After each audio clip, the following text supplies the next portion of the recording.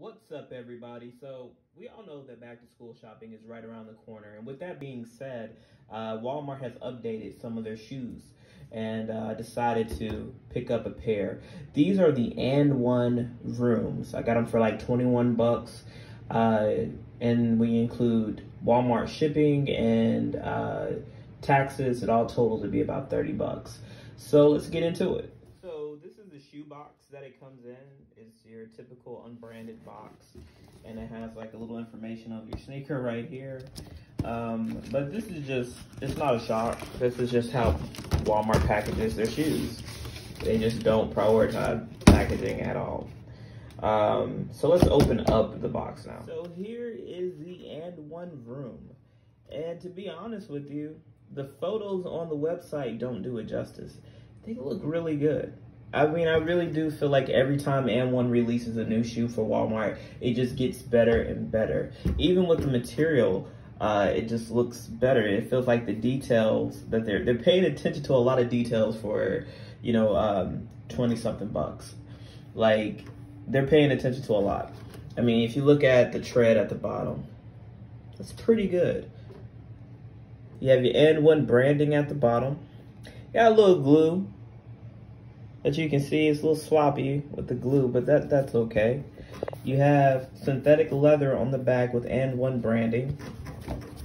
Up here, I was trying to figure out what type of material this was going to be up top because I couldn't tell if it was a mesh or if it just looked like it was a mesh, but it really wasn't. And it feels like, it feels like mesh, but it feels like it's not thin enough um, like your AND1 knits that I discussed on there on here, and it won't be like your um, AND1 Coach ones where they're like your slip-on sneakers. It's not going to be like that. They're not that thin, but it is it is like a, a fabric material, and it feels really good. And then you have, you know, just it looks like they just laid a little like some. It's hard to really describe the material, guys, but it's it's just something just to add over. I don't think that it really means anything right here. It's just design, but it feels good. You have your AND1 branding on your tongue. It's really padded around the ankle. That insole feels good. It's not removable, but it feels good though. And that's really it. The oh yeah, and you have your AND1 branding on the inside of your shoe on the inside of your foot. The color looks great. It doesn't look as loud as I thought it was going to, to look. I was kind of debating these sneakers because I was like, I don't know. These things look like they're going to be kind of loud to the point where they look tacky. And then I couldn't tell if all the material put together was actually going to look good in person. But I will say that I really like it. And I just feel that AND1 keeps trying. They're very consistent with trying to update their designs and, you know, um, make them not really look like 20, 20 buck sneakers. I mean, I think that if you didn't know, I don't think that you would be able to tell that these sneakers only cost like $21 in store.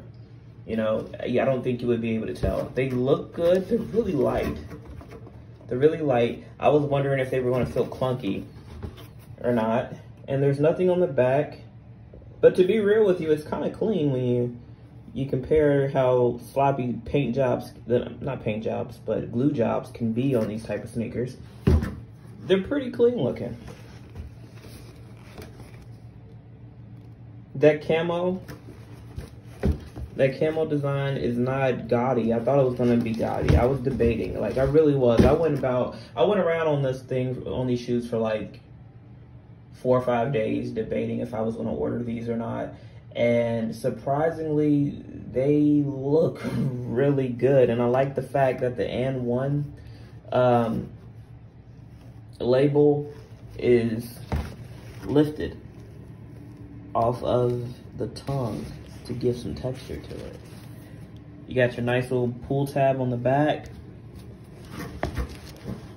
The laces look really nice too. It doesn't have any more information on the shoe, you know, other than, you know, Walmart size 13. 22.84, that's the official price. Um, other than that, these sneakers look great. They look great. I cannot complain at all. That gum bottom is nice. That is nice.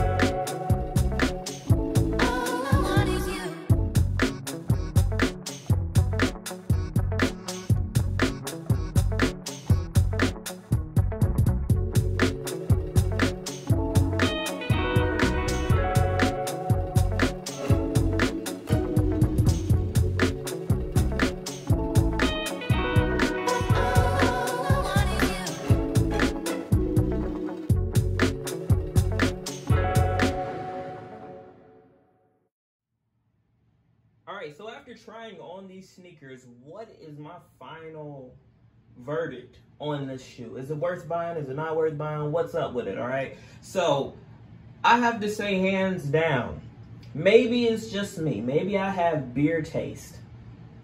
Maybe I have beer taste. Maybe I have too much of a budget friendly mindset.